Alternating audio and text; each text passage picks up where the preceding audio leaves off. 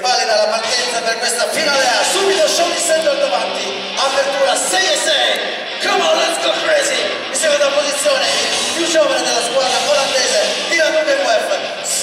Ziggy Knecht e a fare in campo il re dello short track mondiale, Mr. Victor Hunt.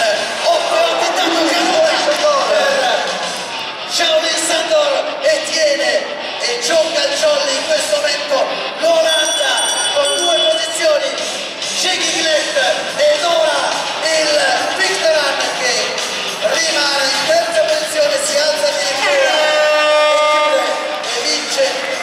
100, 120.